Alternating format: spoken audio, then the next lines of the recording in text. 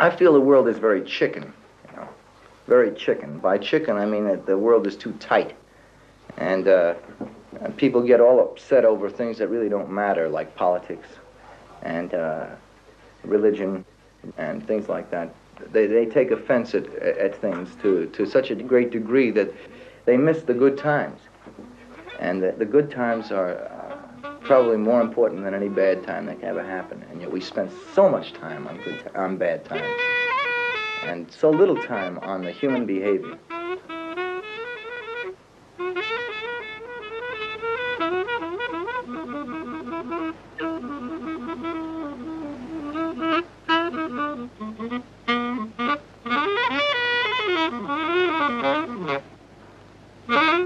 Mm-hmm.